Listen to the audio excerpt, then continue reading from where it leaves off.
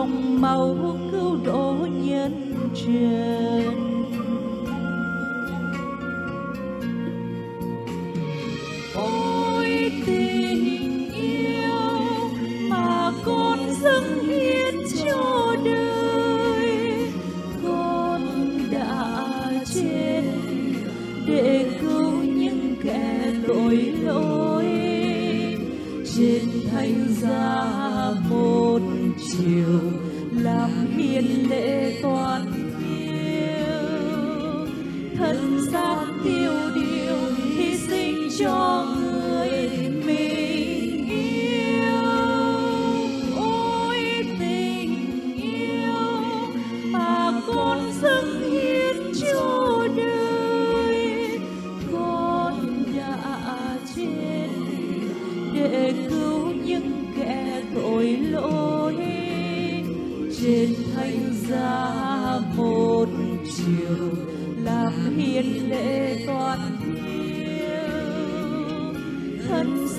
xác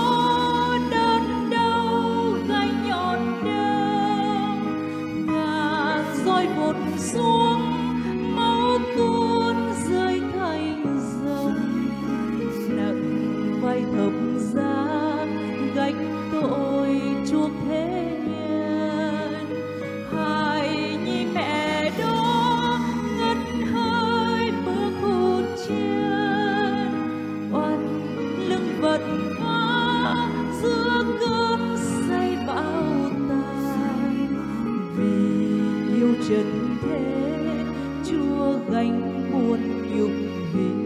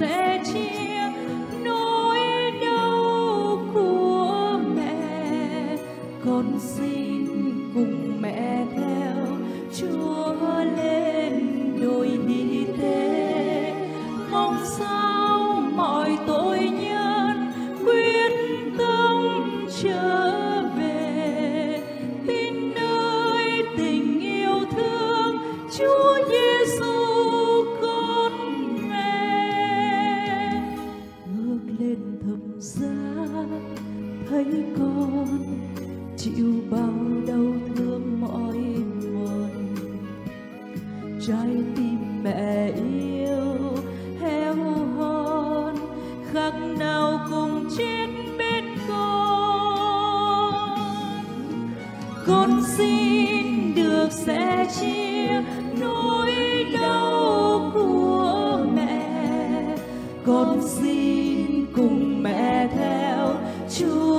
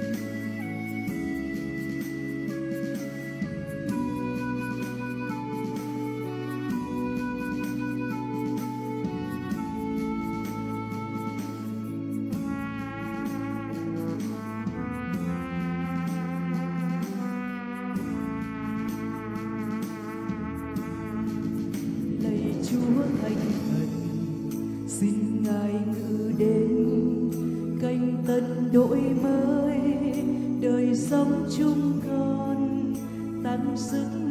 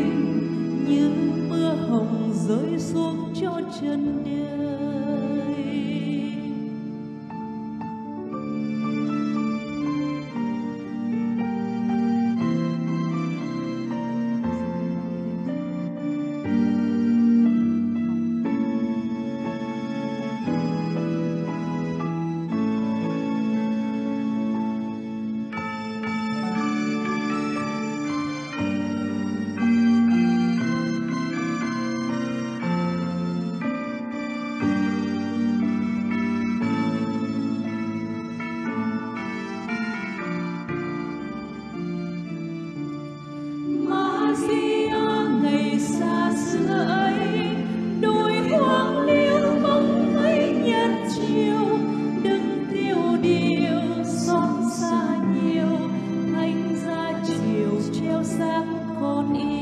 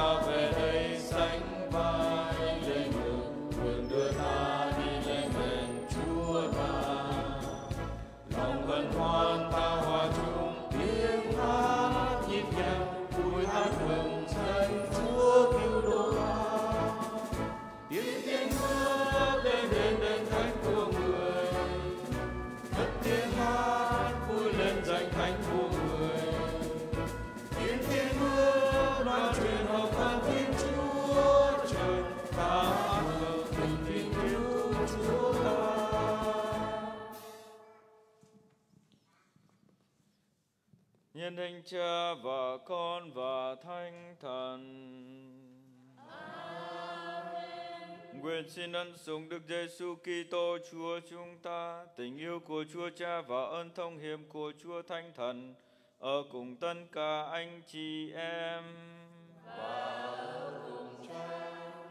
Anh chị em rất thân mến, trong Chủ nhật tuần thứ 27 mùa thường niên, lời Chúa mời gọi mỗi người chúng ta hãy nhận ra được rằng chúng ta được tạo dựng theo hình ảnh và họa ảnh của Thiên Chúa. Chúng ta cầu xin Chúa ban cho mỗi người chúng ta, à, nhất là những đôi bạn trẻ, những người mới kết hôn, những người đang gặp khó khăn trong đời sống hôn nhân, được luôn luôn trung tín, và giữ những lời mình đã thề ước với Chúa. Trong thánh lễ ngày hôm nay chúng ta cũng cùng hiệp ý cầu nguyện à, cho gia đình của anh Thành à, trong chuyến đi được mọi sự bình an. Cầu nguyện cho lễ dỗ cho ông linh hồn Phaolô Lê Văn Lượng, linh hồn Francisco, linh hồn Maria.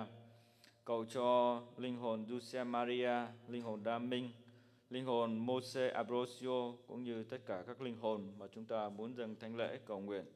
Giờ đây chúng ta hãy thành tâm thống hối những lỗi lầm thiếu sót của chúng ta để chúng ta xứng đáng cử hành mầu nhiệm thánh.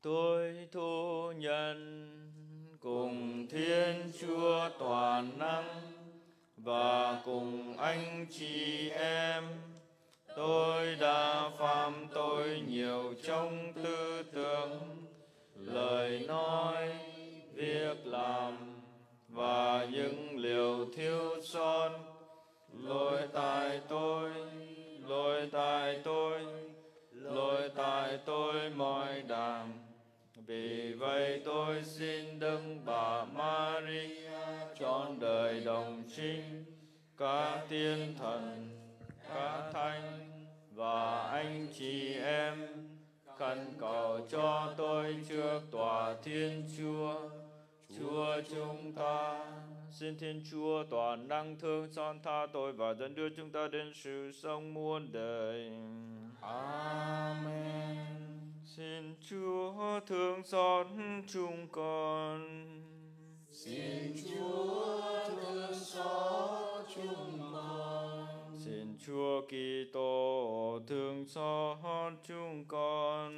Xin Chúa Kitô thương xót chúng con. Xin Chúa thương xót chúng con.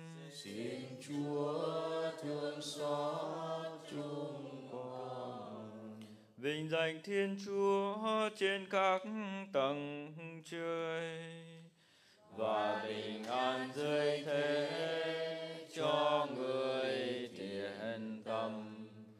Chúng con ca ngợi Chúa, chúng con chúc tụng Chúa, chúng con thờ lạy Chúa, chúng con tôn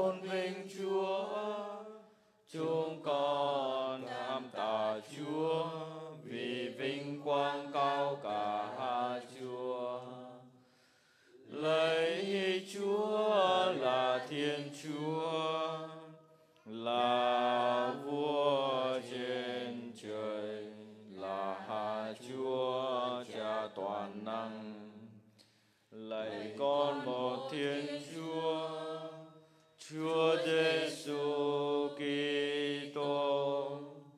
Lấy Chúa là Thiên Chúa, là Hạ Chiến Thiên Chúa, là con Đức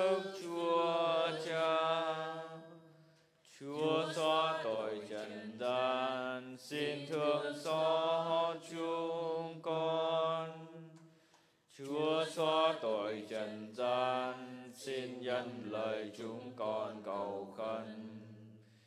Chúa ngự bên hiếu đức Chúa Cha, xin thương xót chúng con. Vì lạy Chúa Giêsu Kitô, chỉ có Chúa là đấng thánh, chỉ có Chúa là Chúa có Chúa là đấng tối cao. Cùng Đức Chúa Thánh Thần trong vinh quang.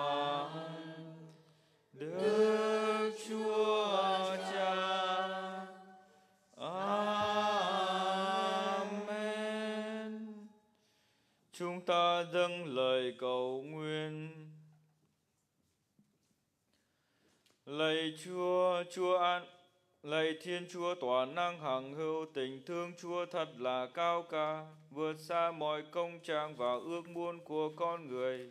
Xin đồng tình tha thứ những lỗi lầm căn dứt lương tâm chúng con và thương ban những ơn trọng đại lòng chúng con chẳng dám mơ tưởng bao giờ. Chúng con cầu xin nhờ Đức Kitô Chúa chúng con. Amen.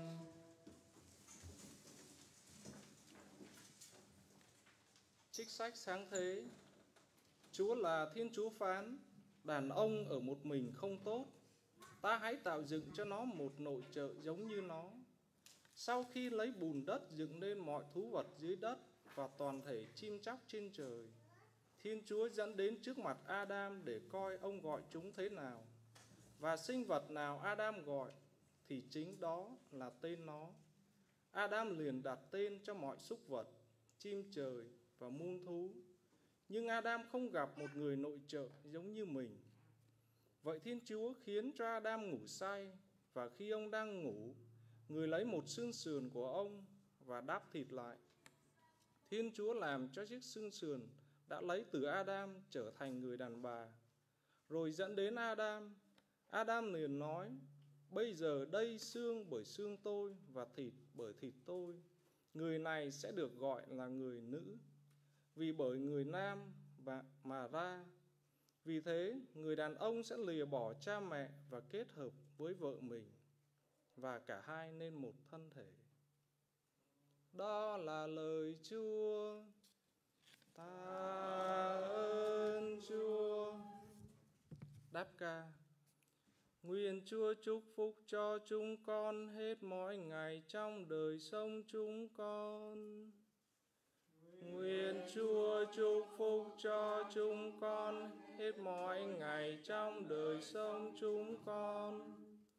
Phung thay những bạn nào tôn sờ Thiên Chúa, bạn nào ăn ở theo đường lối của người, công quả tay bạn làm ra, bạn được an hương, bạn được hạnh phúc và sẽ gặp may.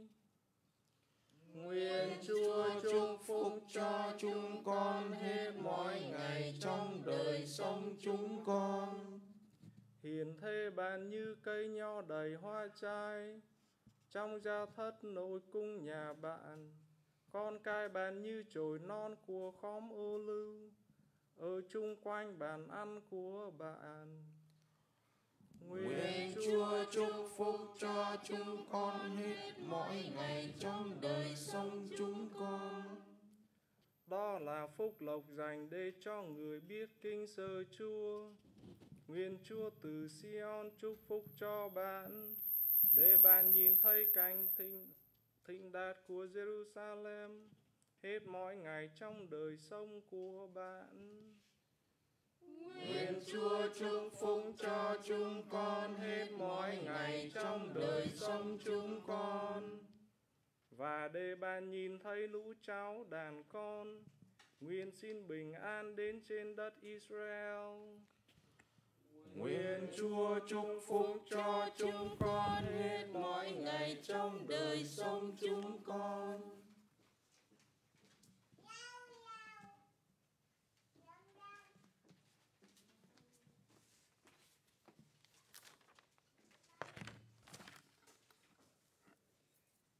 Bài đọc 2 Trích gửi tín hữu Do Thái Anh em thân mến, đấng trong một thời gian bị hạ xuống kém các thiên thần là Đức Giêsu.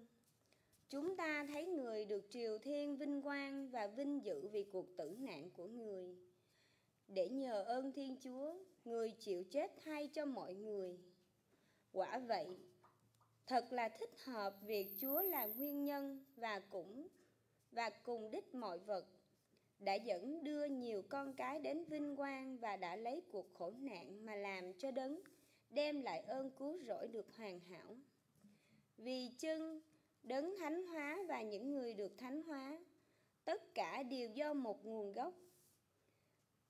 Vì thế, người không hổ thẹn gọi là gọi họ là anh em. Đó là lời Chúa. Tạ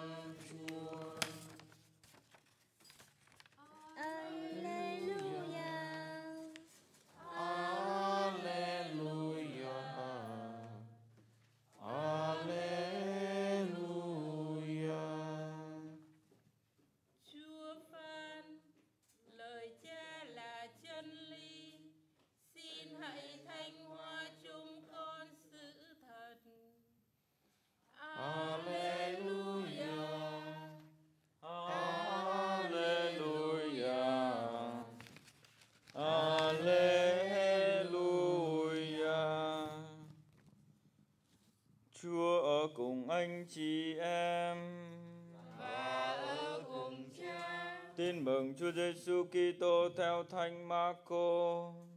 lạy Chúa vinh danh Chúa Khi ấy những người biệt phái đến gần và hỏi thử Chúa Giêsu rằng: Người ta có được phép ly dị vợ mình chăng? Người đáp: Mô-xê đã truyền cho các ông thế nào? Họ thưa: Mô-xê cho phép làm giấy ly dị và cho ly dị. Bấy giờ Chúa Giêsu đáp lại: Chính vì sự cứng lòng của các ông mà Môse đã viết ra điều luật đó. Nhưng lúc khởi đầu cuộc sáng tạo, Thiên Chúa đã tạo dựng nên một người nam và một người nữ. Bởi đó, người nam sẽ lìa cha mẹ để luyến ái vợ mình, và hai người sẽ nên một huyết nhục. Như thế, họ không còn là hai mà là một huyết nhục. Vậy sự gì Thiên Chúa đã kết hợp, loài người không được phân ly. Về đến nhà, các môn đệ lại hỏi người về điểm đó, và người bảo các ông, ai bỏ vợ mình mà lấy vợ khác, thì phạm tội ngoại tình đối với người vợ trước, và người nữ bỏ chồng mà lấy chồng khác, thì cũng phạm tội ngoại tình. Bây giờ người ta đưa những trẻ nhỏ đến cùng Chúa Giêsu để người đặt tay trên chúng, nhưng các môn đệ khiển trách họ. Thấy vậy, Chúa Giêsu bất bình và bảo các ông rằng: Hãy để trẻ nhỏ đến cùng thầy, đừng ngăn cản chúng, vì nước Thiên Chúa là của những người giống như chúng. Thầy bảo thật các con, ai không đón nhận nước Thiên Chúa như trẻ nhỏ sẽ không được vào nước đó. Rồi người ôm chúng, đặt tay ban pháp lành cho chúng. The Pharisee approached Jesus and asked, Is it lawful for a husband to divorce his wife? They were testing him. He says to them in reply, What does Moses command you? They reply, Moses permitted a husband to write a bill of divorce and dismiss her. But Jesus told them, Because of the hardness of your hearts, he wrote you this commandment. But from the beginning of creation, God made them male and female. For this reason, a man shall leave his father and mother and be joined to his wife, and the two shall become one flesh. So they are no longer two, but one flesh. Therefore, what God hath joined together, no human being must separate. In the house, the disciple again questioned Jesus about this. He says to them, Whoever divorces his wife and marry another commit adultery against her. If she divorce her husband and marries another, she commit adultery. And people were bringing children to him, that he might not he might touch them. But the disciple rebuked them. When Jesus saw this, he became indignant and said to them, Let the children come to me. Do not prevent them. For the kingdom of God belongs such as thee. Amen, I say to you, whoever does not accept the kingdom of God like a child will not enter it. Then he embraced them and blessed them and placed his hand on them. Đó là lời Chúa. Lạy Chúa Kitô, ngợi khen Chúa.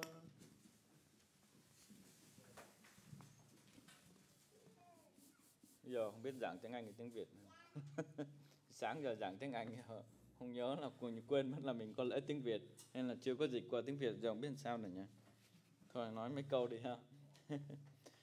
à, trước khi mà à, chia, chia chia sẻ à, cho anh chị em thì chúng ta thấy trong cái à, bài đọc một đó, Thiên Chúa tạo dựng con người thì Thiên Chúa tạo dựng Ada, Eva trong khi mà Adam ngủ thì lấy một cái xương sườn của Eva và của Adam và tạo ra bà Eva thì có cái câu chuyện vui nó kể rằng à, khi mà có hai vợ chồng kia thì à, đang đêm đang ngủ thì bà vợ bà thức dậy bà cứ kiếm mà kiếm ở bên cạnh ở sườn ông chồng không bà cứ mò mò mò mò cái ông chồng nói chứ. Đêm mò mò cái gì? Tôi đi làm về có đồng nào tôi đưa cho bà hết rồi. Một cắc rồi tôi cũng không giữ nữa bà còn kiếm cái gì nữa. Bà nói chứ không tôi đâu có kiếm gì đâu tôi chỉ kiếm có cái xương sườn nào nó bị mất không thôi. đó là câu chuyện vui thôi anh chị em. Bài uh, tin mừng mà chúng ta vừa nghe ngày hôm nay Chúa Giêsu uh, ờ, dạy về uh, đời sống hôn nhân gia đình. Có nhiều người nói cha ông cha có sống trong đời sống hôn nhân gia đình đâu mà cha biết. Nói chứ à, các anh chị không biết là trước khi đi tu tôi cũng phải sống trong gia đình vậy. Tôi cũng có khi chứng kiến đổ giá bát đĩa bay tùm lum chứ đâu phải là tôi không chứng kiến. Mà không những thế à, tôi nghe về gia đình nhiều hơn các anh chị nhá. Sao cha nghe? Đấy, cha ơi cha có biết chồng con như vậy không? Cha ơi cha có biết vợ con như vậy không? Cha ơi cha có biết con con nó như vậy không? Thực ra các cha không sống trong đời sống gia đình.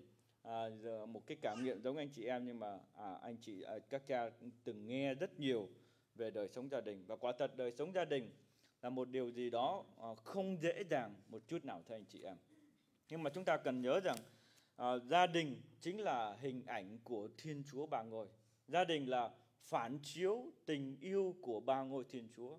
Như Chúa Cha Chúa Con và Chúa Thánh Thần yêu thương nhau và kết hợp với nhau thì đời sống gia đình cũng là phản ánh cái tình yêu đó. Trong cái bí tích hôn nhân Chúa Giêsu giáo hội mời gọi à, các đôi vợ chồng người chồng hãy yêu vợ mình giống như Chúa Giêsu yêu hội thánh. Người vợ hãy yêu chồng mình giống như hội thánh yêu Chúa Giêsu và dâng hiến tất cả cuộc đời của mình cho Chúa Giêsu. Trong bài tin mừng ngày hôm nay Chúa Giêsu cũng à, xác nhận với chúng ta về sự bất khả phân ly trong đời sống gia đình. Trước khi chúng ta chia sẻ về bài tin mừng ngày hôm nay thì chúng ta đã biết uh, trong một số tuần vừa qua chúng ta đã cùng theo bước Chúa Giêsu đi từ Galilee về Jerusalem và Chúa Giêsu biết rõ rằng khi ngài đi về Jerusalem điều gì đã chờ đón ngài đó chính là cái chết nhưng mà đôi khi chúng ta quên rằng sau cái chết đó ngài cũng tuyên báo về cuộc phục sinh và khi Chúa Giêsu tuyên báo về cái chết của người thì các môn đệ tranh luận xem ai là người lớn nhất, ai là người lãnh đạo. Thì Chúa Giêsu dạy các môn đệ rằng trong các anh em nếu ai muốn là người lớn nhất, ai muốn là người lãnh đạo, hãy làm đầy tớ anh em, hãy phục vụ nhau. Và chúng ta thấy rằng trong bữa tiệc ly trước khi Chúa chịu chết về với Chúa Cha, Ngài đã cúi xuống rửa chân cho các môn đệ. Rồi trong Chúa Nhật tuần trước như chúng ta đã thấy, Chúa Giêsu dạy các môn đệ rằng nếu như mắt anh em làm cho cớ cho anh em phạm tội anh em hãy móc nó và ném đi. Nếu mà tay anh em làm cớ cho anh em phạm tội hãy chặt nó đi và vứt đi. Chúa Giêsu mời gọi mỗi người chúng ta để trở thành những người môn đệ của Chúa. Chúng ta hãy biết bỏ đi những gì ngăn cản chúng ta đến với Chúa ngăn cản chúng ta để thực thi thánh ý của Chúa trong cuộc đời của chúng ta à, trong Chủ nhật tới đây thì chúng ta thấy Chúa Giêsu dạy các môn đệ về thái độ trước tiền của vàng bạc và vật chất. Thái độ của người môn đệ phải cần như thế nào? Trong bài tin mừng ngày hôm nay như chúng ta đã thấy những người Pharisee từ Jerusalem lên để hỏi Chúa Giêsu một câu hỏi rằng có được phép dãy vợ không? Hay nói đúng hơn là có được phép ly dị không? Cái câu hỏi này thực ra nó không phải là một cái câu hỏi mà nó là một cái bẫy mà người Pharisêu đã đặt ra trước Chúa. Bởi vì vào thời Chúa Giêsu vào thời đó, thì những cái cặp hôn nhân theo luật cũ là được phép ly dị.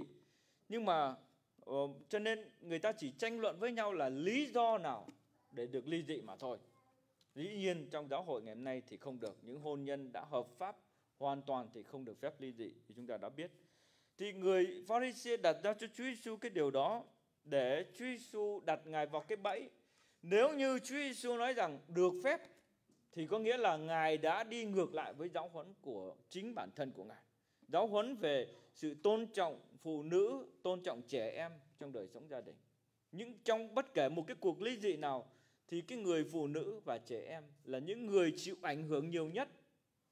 Và hơn như thế nữa, nếu mà Chúa Giêsu đồng ý để mà ly dị, thì ngài đã đi ngược lại với ông Gioan tẩy giả Gioan tẩy giả là người một ngôn sứ rất nổi tiếng vào thời đó nhiều người đi theo Gioan tẩy giả và chúng ta nhớ câu chuyện về Gioan tẩy giả khi ông đã đến trước mặt vua Herode và nói với Herode rằng ông không được phép lấy vợ của người em của mình.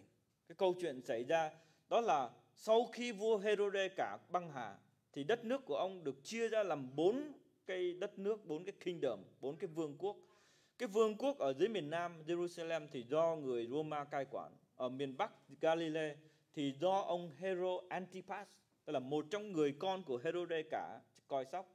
Còn vùng Caesarea Philippe là do một người con khác tên là Philippe cai quản. Thì một ngày kia ông Hero Antipas ông đi đến nhà người em của mình là Philippe và cái người vợ của ông Philippe thấy cái ông anh này đi đến và thấy thích quá, bỏ chồng, ly dị chồng và đến ở với người anh của mình John tẩy giả nghe thấy điều đó, ông đến và nói với anh tỏ giả, ông không được phép làm như vậy và chính vì John tẩy giả nói như vậy, cho nên John tẩy giả đã bị vua ờ, Herodias là vợ của Herode giết chết và chặt đầu trong ngục để mang lên một cái đĩa như chúng ta thấy. Cho nên chúng ta thấy rằng Chúa Giêsu nói được cũng không được, mà không cũng không được. Vì vậy cho nên Chúa Giêsu mới nói với họ rằng sự gì Thiên Chúa đã kết hợp, loài người không được phân lê. Như chúng ta đã biết, trong cái cuộc uh, Chúa Giêsu mời gọi những người Do Thái, những người lòng chay giả đá, hãy trở về với cội nguồn, trở về với lúc ban đầu. Lúc ban đầu Thiên Chúa tạo dựng người nam và người nữ và cho họ bằng quyền với nhau. Tất cả dù là nam hay là nữ đều được tạo dựng theo hình ảnh và họa ảnh của Chúa. Dù là nam hay là nữ thì đều được tôn trọng phẩm giá như nhau. Ở điểm thứ hai Chúa Giêsu nhắc các môn đệ đó là người uh, con người ở một mình thì không tốt. Chúng ta người vợ và người chồng là những người bổ túc cho nhau trong đời sống. Khi mà chia sẻ ở đây làm cho uh, làm cho tôi nhớ đến một cái câu chuyện uh, về cuộc tạo dựng uh, theo cái thần thoại của Hy Lạp. Thì theo thần thoại của Hy Lạp á, Thiên Chúa tạo dựng trời đất vũ trụ và con người. Nhưng mà đến khi mà tạo dựng người phụ nữ thì he run out of material là không còn vật cái gì để mà tạo dựng nữa. Nên là Chúa mới lấy cái vẻ đẹp của mặt trăng và những cái bông hoa lấy một chút vẻ đẹp ờ, cái sự ấm áp của mặt trời và những cái tia lửa, những cái ánh lửa. Lấy một chút sự hiền dịu của con chim bồ câu và của dòng suối. Lấy một chút cái sự can đảm của con sư tử. Lấy một chút cái sự lạnh lùng của mùa đông và băng tuyết. Và ngài trộn lẫn tất cả để mà tạo dựng lên người phụ nữ. Nên chúng ta thấy rằng người phụ nữ có đẹp không? Đẹp không? Ai nói không đẹp chết liền luôn. Có có có ấm áp không? Có không?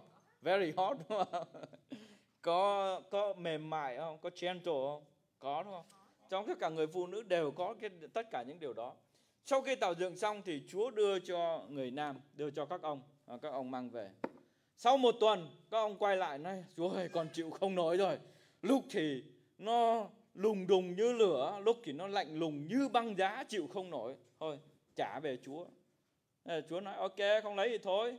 Trả lại. Một tuần sau mấy ông quay trở lại nói chúa ơi con con lỡ hối hận rồi cho con lại đi bởi vì con nhớ con nhớ cái lời nói giống như chim hót nhớ cái sự mềm mại nhớ cái cái um, những cái uh, cử chỉ yếu điệu của uh, của vợ con. Nên, cho con lại được không? Nói, ok let us go uh, take it back uh, mang trở lại.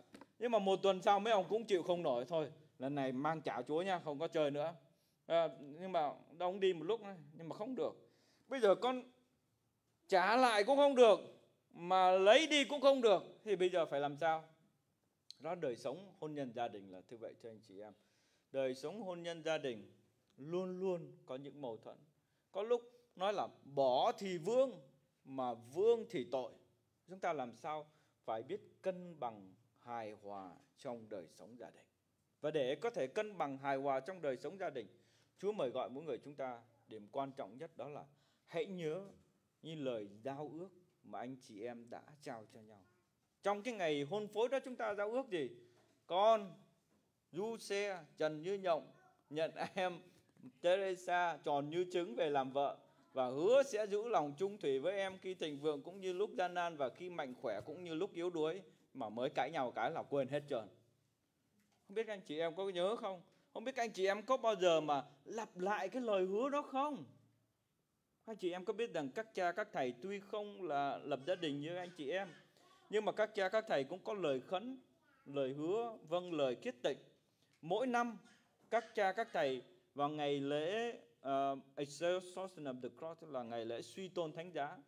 Thì cho dù là khấn một năm hai năm ba năm hay mười năm hay năm chục năm các cha các thầy đều quy tụ lại và lặp lại cái lời khấn của mình.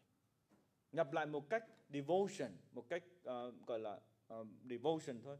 Nhưng mà mỗi lần lặp lại như thế thì nó nó làm cho chúng ta uh, commit more và chúng làm cho chúng ta một lần nữa đam kết nhiều hơn. Trong đời sống gia đình, thiết nghĩ cũng như vậy. Chúng ta không cần phải chờ đến 10 năm à, 20 năm 25 năm, hay là 30 năm, hay là 50 năm, chúng ta mới lặp lại, mới gọi là hấp hôn.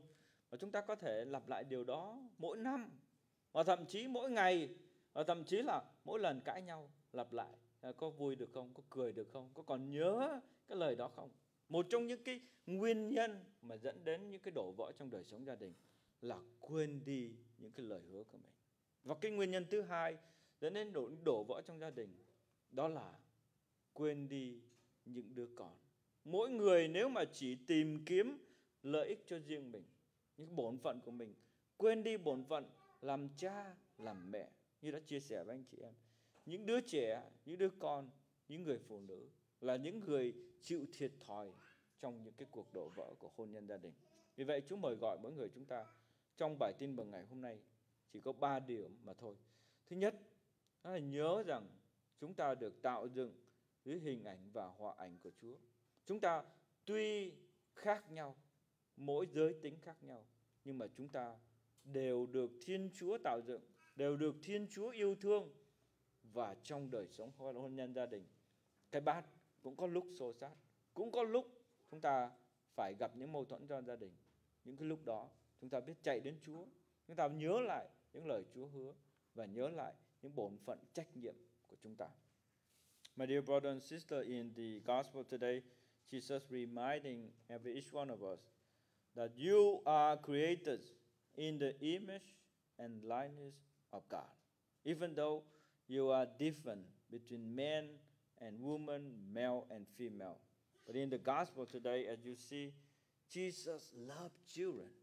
Jesus, while the disciple tried to uh, try to uh, send the children away, but Jesus, let the children come to me. Jesus loved you. God created you in his image and his likeness. And more than that, he's not only created you and let you go, but he died on the cross for you. So let us today, as we continue this Eucharist, we recognize that truth. We also pray for your parents. Pray for those who are struggle in the family life and in marriage life.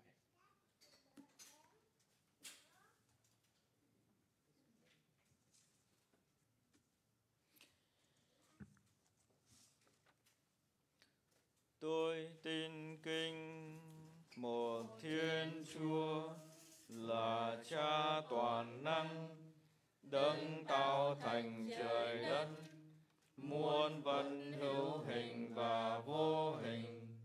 Tôi tin kinh một Chúa Giêsu Kitô, con một Thiên Chúa, sinh bởi Đức Chúa Cha từ trước muôn đời người và Thiên Chúa bởi Thiên Chúa, ánh sáng bởi ánh sáng, Thiên Chúa thật bởi Thiên Chúa thật, được sinh ra mà không phải được tạo thành, đồng ban thề với Đức Chúa Cha, nhờ người mà muôn vật được tạo thành, vì loài người chúng ta và để cứu rỗi chúng ta.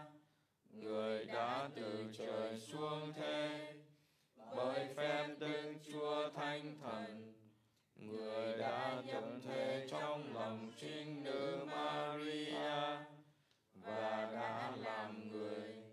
Người chịu đóng đinh vào thâm gia vì chúng ta, thời quan phong siêu phi la tô. Người chịu khổ hình và mai tăng ngày thứ ba người sống lại như lời thánh kinh. Người lên trời, ngự bên hiệu đức chúa cha, và người sẽ lại đến trong vinh quang để phan xen kẻ sống và kẻ chết. Nước người sẽ không bao giờ cùng. Tôi tin kinh Đức Chúa Thánh Thần là Thiên Chúa và là đấng ban sự sống. Người bởi Đức Chúa Cha và Đức Chúa Con mà ra. Người được phụng thờ và tôn vinh cùng với Đức Chúa Cha và Đức Chúa Con. Người đã dùng các tiên tri mà phán dạy Tôi tin hội thánh duy nhất, thánh thiện, công giáo và tông truyền. Tôi tin xưng có một phép rửa để tha tội. Tôi trong đời kẻ chết sống lại và sự sống đời sau. Amen. Anh chị em thân mến, sự trung thủy và bền vững trong đời sống hôn nhân không những là ý muốn của Thiên Chúa mà còn là ước vọng của con người. Để gia đình được hạnh phúc, vậy chúng ta cùng dâng lời nguyện xin. Đây xương bởi xương tôi, thịt bởi thịt tôi, xin cho các vị chủ chăn không ngừng rao giảng giáo lý hôn nhân cơ bản này cho bậc vợ chồng trong đời thời đại hôm nay để họ tôn trọng luật hôn nhân của hội thánh hầu bảo vệ hạnh phúc cho các gia đình nhờ lời đức mẹ chuyên cầu. Xin chúa nhận lời chúng con. Chúa là nguyên nhân và cùng đích mọi vật. Xin cho mọi Kitô hữu hiểu rõ rằng chính Chúa xây dựng và bảo vệ hôn nhân nên không ai có quyền phá bỏ những luật lệ chính Ngài đã truyền dạy mà biết vâng phục và tuân giữ cho đúng ý Chúa. Nhờ lời Đức Mẹ chuyên cầu. Xin Chúa nhận lời chúng con. Sự gì Thiên Chúa kết hợp, loài người không được phân ly. Xin cho gia đình ý thức rằng Họ là cộng đoàn cơ bản để xây dựng và phát triển, nên phải luôn luôn hiệp nhất trọn vẹn cả thể xác và tâm hồn, làm cho xã hội thăng tiến và hạnh phúc. Nhờ lời Đức Mẹ chuyên cầu, Xin Chúa nhận lời chúng con. Hãy để trẻ nhỏ đến cùng Thầy, đừng ngăn cản chúng. Xin cho các bậc phụ huynh nhớ nhiệm vụ thánh thiêng của họ là phải giáo dục đức tin cho con em, để chúng sớm nhận biết và tôn thờ Chúa. Nhờ lời Đức Mẹ chuyên cầu. Xin Chúa nhận lời chúng con. Lạy Thiên Chúa toàn năng, xin thanh luyện tâm trí chúng con để chúng con biết tôn trọng luật hôn nhân công giáo. Nhờ đó chúng con biết bảo vệ hạnh phúc gia đình, an vui cho xã hội, tương lai tốt đẹp cho thế hệ mai sau.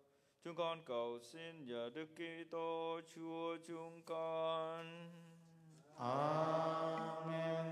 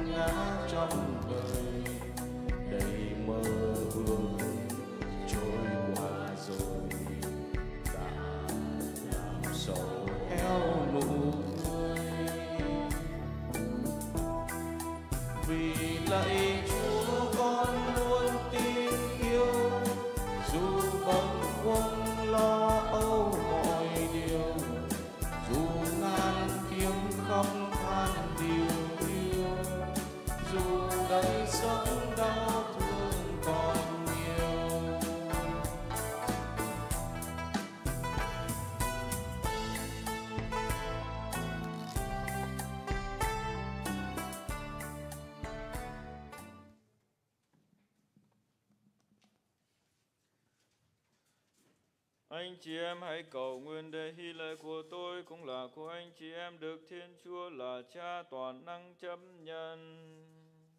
Xin Chúa nhận nghi lễ bởi tay cha để ca tụng tôn vinh danh Chúa và hữu ích cho chúng ta cùng toàn thể hội thánh người.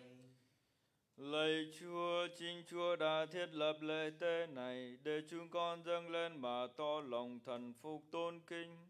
Xin Chúa thương chấp nhận và thanh hóa chúng con. Xin cho chúng con được hưởng dồi dào ơn cứu chuộc. Chúng con cầu xin nhờ Đức Kitô Chúa chúng con. Amen Chúa ở cùng anh chị em và ở cùng cha. Hãy nâng tâm hồn lên. Chúng con đang hướng về Chúa. Hãy tạ ơn Chúa là Thiên Chúa chúng ta. Thật là chính đáng. Lạy Chúa là Cha chi thánh là Thiên Chúa toàn năng hằng hữu chúng con tạ ơn Chúa mọi nơi mọi lúc thật là chính đáng. Phải đạo và đem lại ơn cứu độ cho chúng con. Chúa đã tác thành mọi sự trong vũ trụ đã sắp đặt cho trần gian thay đổi tuần hoàn cho còn loài người Chúa đã dựng nên giống hình anh Chúa và bắt mọi sự kỳ diệu phải quy tục loài người để họ thay quyền Chúa thống trị mọi loài Chúa đã sáng tạo và luôn ca tụng Chúa vì muôn việc kỳ diệu Chúa đã làm nhờ Đức Kitô Chúa chúng con. Bởi thế trong khi cử hành lễ hân hoan này cùng với toàn thể các thiên thần, chúng con ca ngợi tung hô Chúa rằng Thánh, thánh, thánh, Chúa là Thiên Chúa các đạo binh, trời đất đầy vinh quang Chúa, hoan hô Chúa trên các tầng trời.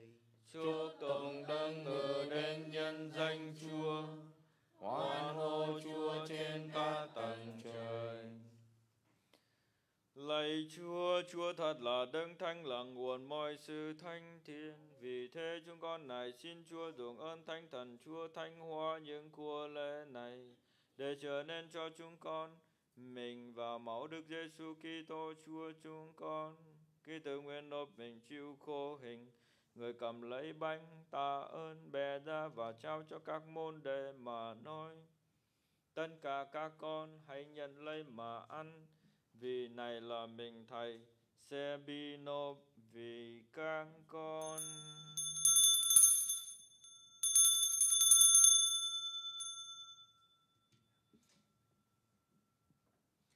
Cùng môn thể thức ấy sau bữa ăn tối, người cầm lấy chén cùng tạ ơn trao cho các môn đệ mà nói. Tất cả các con hãy nhận lấy mà uống, vì này là chén máu thầy, máu giao ước mới và vinh cưu sẽ đổ ra cho các con và nhiều người được tha tội. Các con hãy làm việc này mà nhớ đến Thầy.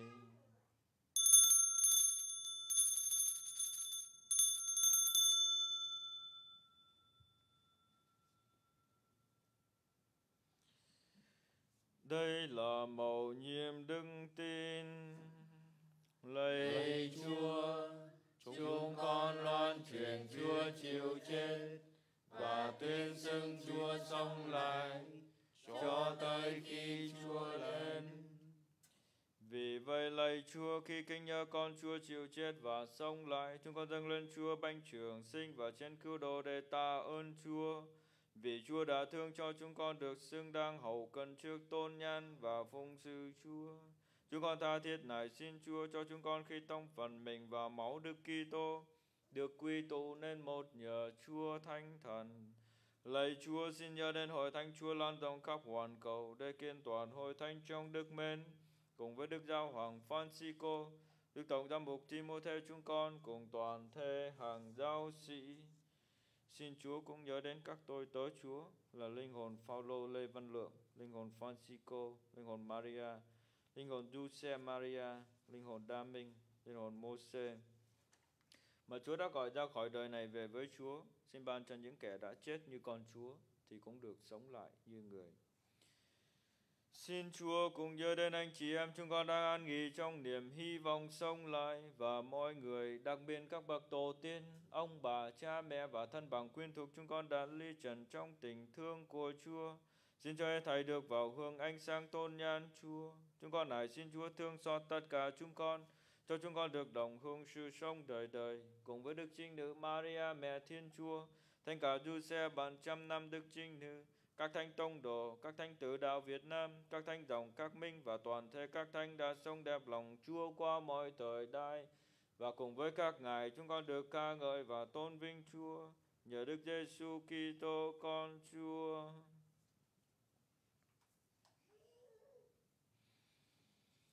Chính nhờ người, với người và trong người mà mọi danh dự và vinh quang đều quy về Chúa là cha toàn năng trong sự hợp nhân của Chúa Thánh Thần đến muôn đời. Amen.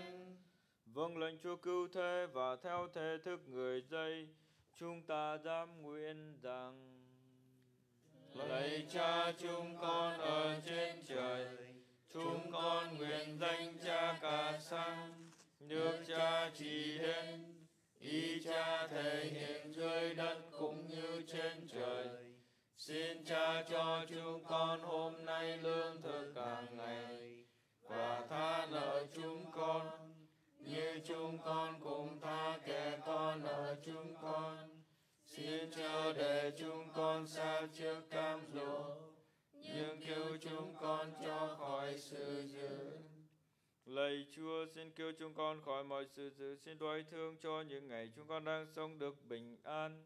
Nhờ Chúa rộng lòng thương cứu giúp chúng con sẽ luôn luôn thoát khỏi tội lỗi và được an toàn khỏi mọi biên loạn. Đang khi chúng con mong đợi niềm hy vọng hồng phúc và ngày trở lại của Chúa Giêsu Kitô, đấng cứu độ chúng con. Vì vương quyền, và vinh quang là của Chúa đến muôn đời. Lạy Chúa Giêsu Kitô, Chúa đã nói với các tông đồ rằng Thầy để lại bình an cho các con, Thầy ban bình an của Thầy cho các con. Xin đừng chấp tội chúng con nhưng xin nhìn đến đức tin của hội thánh Chúa. Xin đoái thương ban cho hội thánh được bình an và hợp nhất theo thánh ý Chúa. Chúa hằng sống và hiên tri muôn đời. Amen. Bình an của Chúa hằng ở cùng anh chị em. Và ở cùng cha. Anh chị em hãy chúc bình an cho nhau.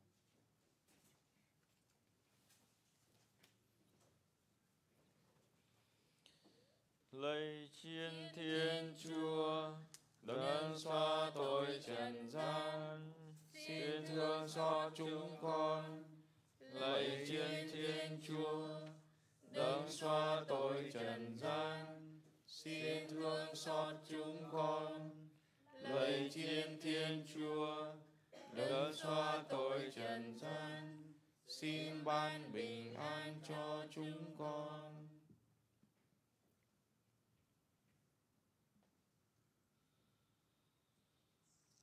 Đây chiến thiên Chúa, đây đấng xóa tội trần gian phúc cho ai được mời đến dự tiệc chiến thiên Chúa.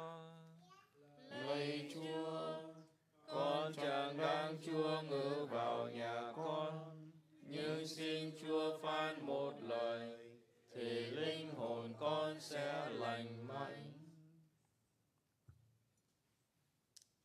Xin ông bà cùng anh chị em đọc kinh rước lễ thiêng liêng khi không thể rước mình thánh Chúa. Lạy Đức Chúa Giêsu, con tin thờ Chúa ngự trong phép mình thánh. Con kính mến Chúa trên hết mọi sự. Cùng ước ao được đón nhận Chúa vào linh hồn con.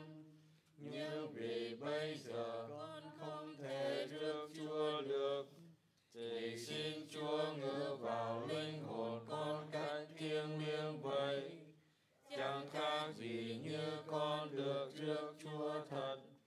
Con xin đón nhận Chúa và kết hợp làm một cùng Chúa cho trọn. Xin Chúa đừng để con lìa bỏ Chúa bao giờ. Amen.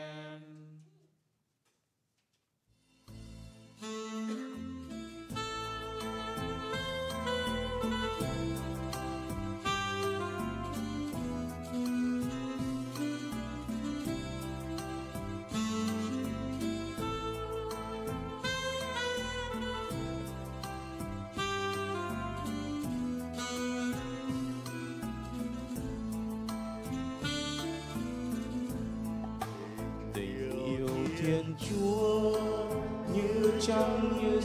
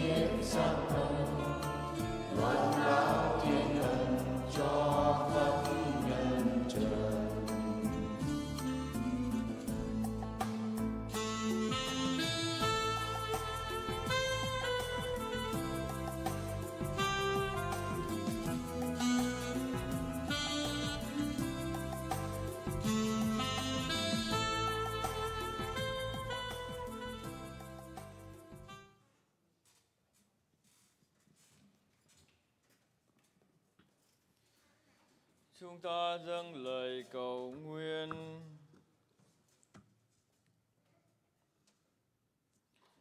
Lạy Chúa, chúng con vừa lãnh nhân mình và máu Đức Kitô, xin cho chúng con được nên một với người và no say tình Chúa.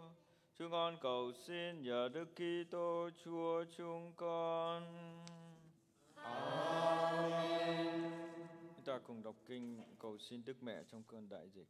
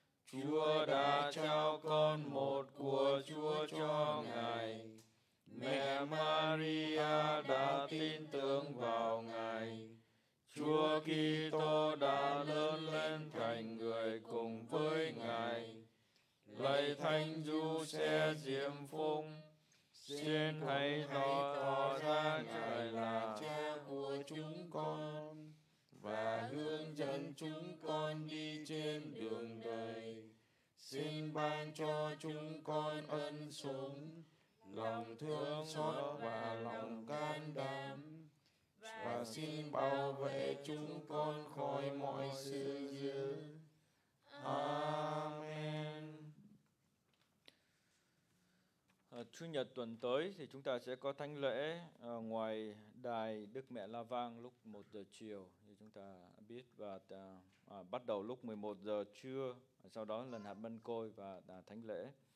À, à, trong à, ngày thứ ba tuần này, tức là ngày à, thứ ba tuần này ngày mùng à, mùng 5 thì à, con sẽ gặp à, với à, các cha dòng các minh cũng như à, cha tổng quản lý của nhà dòng với à, kỹ sư à, để coi lại à, một chút về cái bảng vẽ của các hội trường à, và sẽ quyết định đi đến việc xây dựng hội trường. À, cho đến lúc này thì cái đóng góp của anh chị em à, cho việc xây dựng hội trường đã khá là ổn và chúng ta hy vọng rằng cái hội trường sẽ sớm được hoàn thành.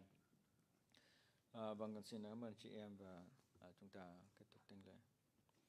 Chúa ở cùng anh chị em và ở cùng cha. Xin Thiên Chúa toàn năng là Cha và Con và Thánh Thần ban phúc lành cho anh chị em. Amen. Lễ xong chúc anh chị em đi bình an. tạ ơn Chúa.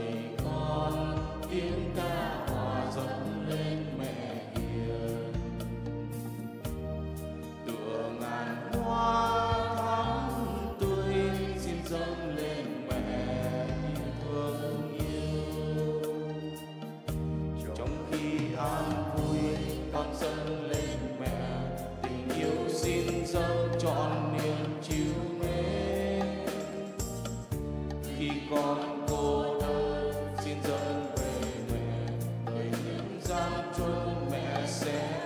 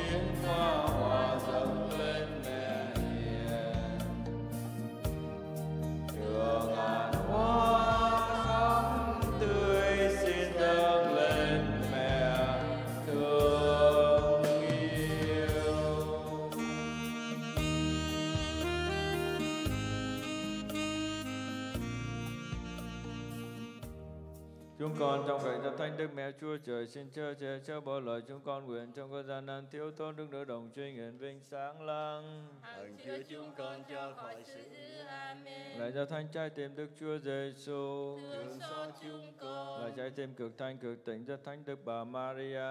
cầu cho chúng con Là ông thánh Giuse là bạn thánh sạch Đức Bà Maria chọn đời đồng trinh. cầu cho chúng con Đức mẹ nuôi các mình. Cầu cho chúng con, Đức mẹ là vàng. cầu cho chúng con, Các thánh dòng các mình. cầu cho chúng con, Các thánh tử đạo nước Việt Nam. cầu cho chúng con. Chúng con cậy vì danh Chúa nhân từ. cho các các linh hồn được lên chốn nghỉ ngơi. hằng xem thấy mặt Đức Chúa trời sáng láng vui vẻ vô cùng. Amen. Và con và thánh thần. Amen